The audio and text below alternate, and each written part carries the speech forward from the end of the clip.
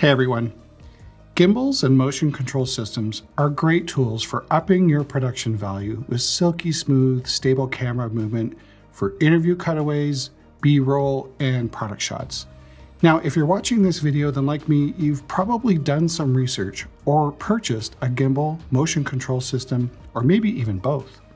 Ever since buying my first gimbal about three years ago, I've become a little obsessed with how to get the same smooth motion in my slider and dolly shots.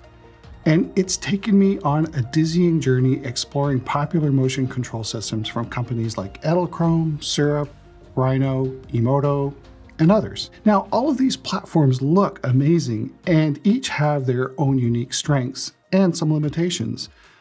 Honestly, I was so close to hitting that buy button more than once, but I just couldn't bring myself to do it for a few reasons. One, I wanted flexible tools that could work on different sliders and dollies. Now, most of these systems require that your slider, motion control, and accessories all come from the same company, and that they only work together.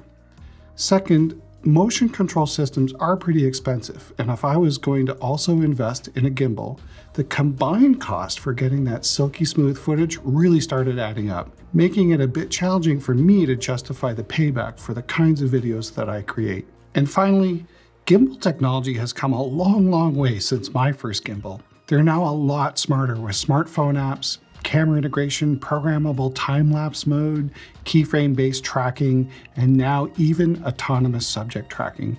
Gimbals are beginning to mirror or surpass the features of other motion control systems, and all in a package that you can just pick up and move with.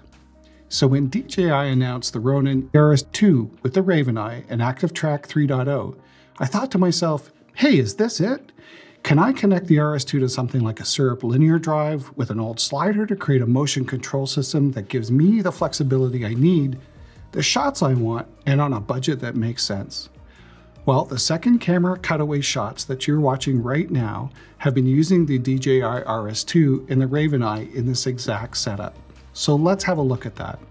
For this setup, I've mounted the Syrp Linear to my old trusty Rhino slider, and then mounted the Ronin Ravenye combo to the Syrp, just using the quarter 20 thread on the bottom of the handle, with a Sony FS5 balanced nicely on the RS2. The second FS5 is my main camera, and it's mounted here on a tripod. With the exception of the gimbal, this is my typical two camera interview setup.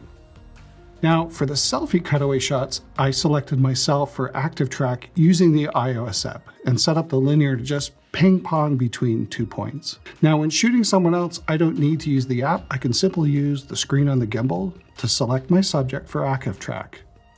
I found that setting ActiveTrack sensitivity to about 20 works great, with about a two second ease in and out on the Syrp Linear's endpoints. Now, I'm just using the famously bad autofocus on the FS5 to keep me in focus.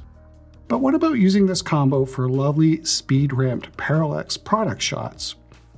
Well, it seems to work great for those shots using the same active track setup. If your camera doesn't have autofocus and you've purchased the DJI Focus Controller, you could also use the keyframe track mode in the DJI app and set the keyframes that match the position of your slider and the focus distance to your subject at different points along the slider's path. This works, although my experience with this technique has been a little hit and miss in that it requires some time to get the gimbal and the slider set up in perfect sync. I've got a lot more experimenting to do with this combination, and I hope you found this somewhat helpful in your quest for those epic smooth shots. If you did, hit the subscribe button and get notification when I post my next video. And as always, we'll see you again in the next video. Bye for now.